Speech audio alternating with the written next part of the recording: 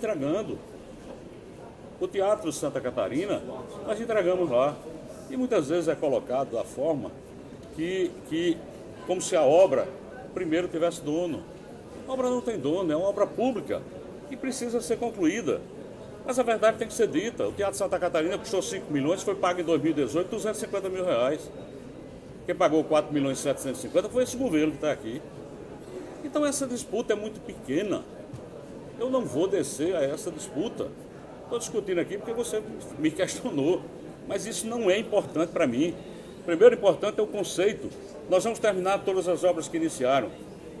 Eu estou terminando obras que foram consideradas inauguradas em 31 de dezembro e que não estavam sequer prontas. Essa é a questão. Não precisamos descer a esse detalhe. Nós precisamos é continuar fazendo essa Paraíba avançar e é isso que eu vou fazer.